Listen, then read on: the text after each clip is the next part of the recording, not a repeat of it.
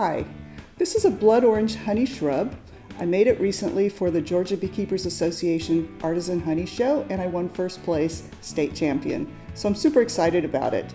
A honey shrub is made with vinegar, and in this case it's apple cider vinegar, and so the ingredients for this are blood orange juice. I added a little tangerine juice, it's got some spices, uh, star anise, clove, and cinnamon. And then you mix it with honey, in this case, my honey, because I'm a beekeeper, a little bit of sugar, and some apple cider vinegar. And so you just kind of simmer it all together um, and let it thicken up a little. And it's just great with a cocktail or a mocktail.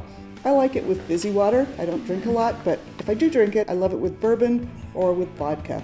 And you really should just mix it to whatever your taste level is. It's different for everybody. But I hope you make one sometime. It's really wonderful. You should try it. Catch our next episode of Creative Conversations with Generation Jones. Wherever you get your podcasts.